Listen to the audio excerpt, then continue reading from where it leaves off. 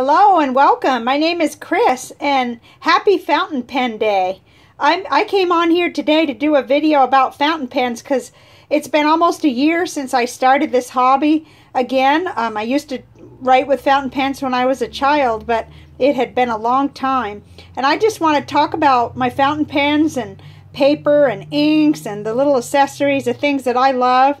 Um, and I'm making this video a little bit uh, differently I'll probably be talking about things that, that most of my viewers already know in case some of my friends and family may see this who are asking things like, you know, is this calligraphy? Um, and what's the difference between a fountain pen and a calligraphy pen? Things like that. So I'll probably be talking about some things that are pretty basic. But first of all, I just wanted to talk about the pens that I have inked up right now.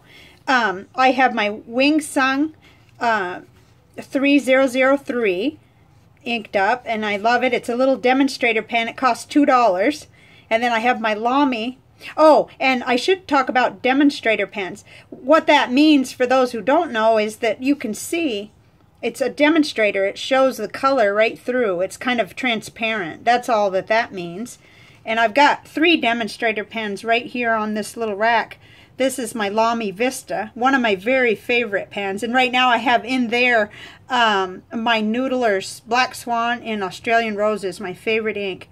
It's just beautiful. Um, that's what it looks like right there. This is my ink journal where I write down what I'm inked up with because believe it or not, when you get this many pens inked up at the same time, you can get confused. and then this here is also a demonstrator pen. It's my little Platinum Preppy with violet ink and I just love this one. It's just about to run out and I've had it, I've been using this same one for quite a while but I've got two little refills for it. So I'm all set. And then this is a new acquisition for me. It's a, a Sheaffer R2-D2 Star Wars pen that I just love. It's got a medium nib on it and it's really pretty. Uh, right, it's a great writer. And then this pen here, this purple pen, is a Jinhao X750 and it's got a medium goulet nib on it. I know that's a little bit, you know, some of the things I'll talk about are a little beyond what beginners would know, but definitely not my most of my viewers. And then this is a Jinhao 599 demonstrator pen in orange, and I have diamine, diamine uh, pumpkin in there. I've been using it all the whole month of October and I still have some left that I'm using up. And then this is another Lamy purple one with some purple ink. Let's see what I have in there. I can't remember so I'll have to look here. Okay, I have Diam Diamine Imperial Purple in that pen. And in that Wing Sung, the first one I showed you, the little $2 pen, that's an extra fine nib, and I've got Monteverde Purple Rain. I've really loved that ink. I didn't like how it looked on the sample card, but I sure love how it looks in the in the writing, and I didn't even mind that it was an extra fine. This is the Diamine um, Pumpkin. It's beautiful ink. And that's how that Sheaffer Star Wars pen writes. So you can kind of see this, this book really keeps track of things for me. That That's the dip pen, so it's not currently inked. And then that is that purple pen right over here. That purple one in the middle is filled up with Rohrer and Klingner Cassia. And that looks a little dark here, but it's been really pretty purple in my notebooks. It's just, it's actually picking up almost as if it was a midnight blue in here. So, um, these aren't all of my pens, but these are what I currently have inked up because I love to have a variety of colors going at any one time. And for every little ink sample I have, I have a card here that has uh, what it is and what it looks like so I can kind of refer to this. So it's, it's just a little ring, and I love that. And um, some of you have already seen this, but I've now had to add an extra tray of uh, ink. An ink tray, another one, because I have so many little samples. That's actually primarily what I have for ink right now is samples. And then, so that's what these little things are here for anybody who's a non-fountain pen user. You can use uh, you can test out different inks and find out what you like. So I, I just love that. And then if you get to where, the point where I'm at now, where you know what you like, this is a, a little bottle. I think, uh, see how much is in there. I'm not really sure, actually. I should know. 30 milliliters. Okay, 30 milliliters in there of the pumpkin. and then I think this must be 50. This is another little bit bigger. And then the, um, the, my most fancy ink, my Améthyste de l'Oural. I love that. So you can see that you could start with just a little sample. If you really like it, you can order your ink. Uh, back here in the back is my fun for later this evening. This is my first TWSBI. I, I bought a TWSBI Eco, and I haven't inked it up yet, but I'm going to. That's on my checklist of things I want to do today for Fountain Pen Day.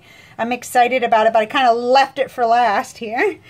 So we've looked at some pens, and we've looked at the ink, and I wanted to show you a little bit about paper and talk about that, especially for beginners or people, my family and friends who don't know.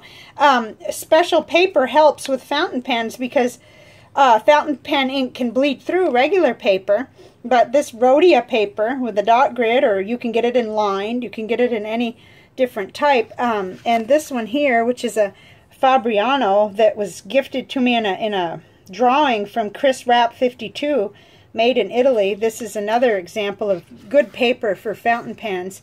And this is what's called Tomoe River paper, very thin, but it doesn't bleed through. It's very fountain paper friend, fountain pen friendly. So I've been using that for letters, like to my mom. And then this notebook back here is just a regular notebook. Um, it wasn't very expensive. I, I got some on clearance at Office Depot for 33 cents.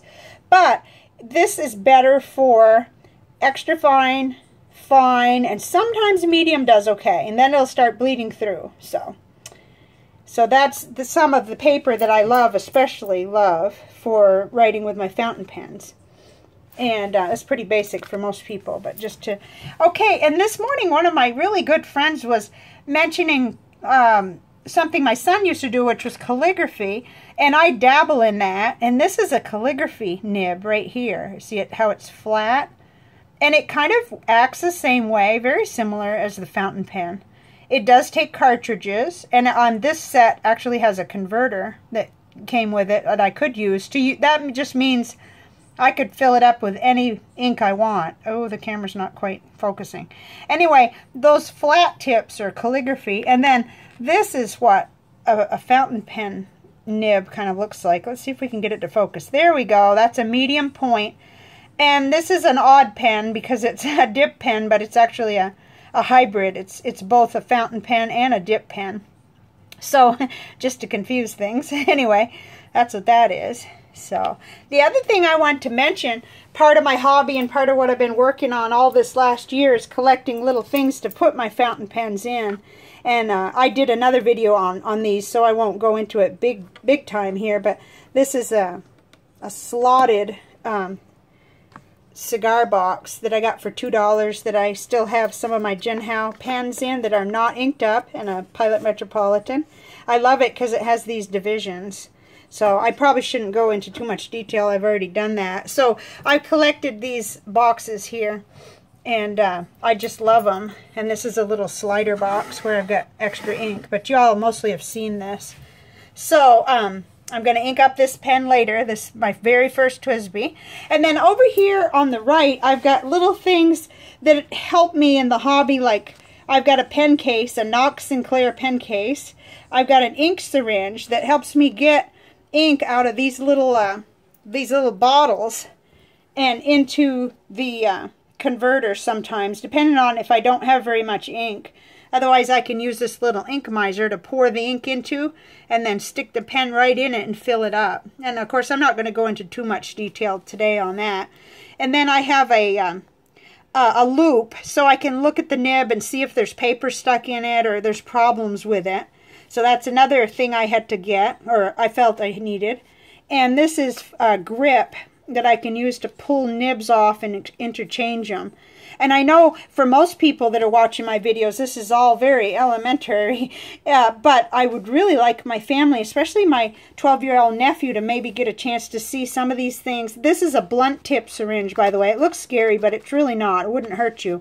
And it's just good for, for getting ink from one place to another carefully, you know. So...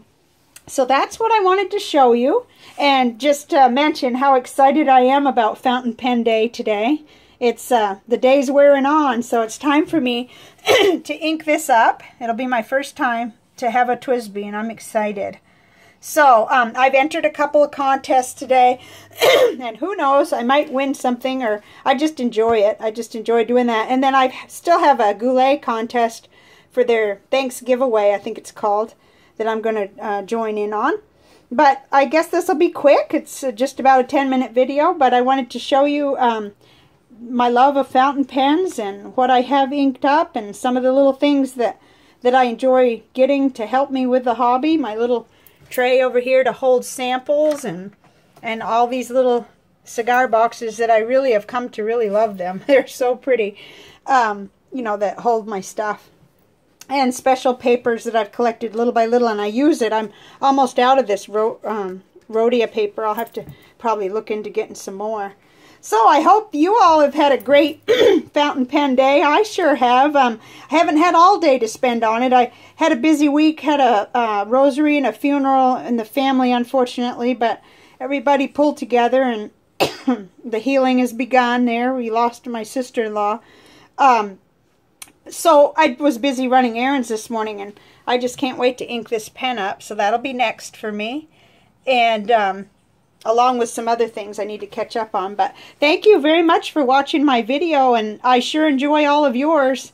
And I hope this has been helpful to those who are beginners, you know, just to see what, what the hobby kind of looks like and what the things are that can help you with it. So, have a great weekend, and uh, thank you very much for for watching my video. Bye now.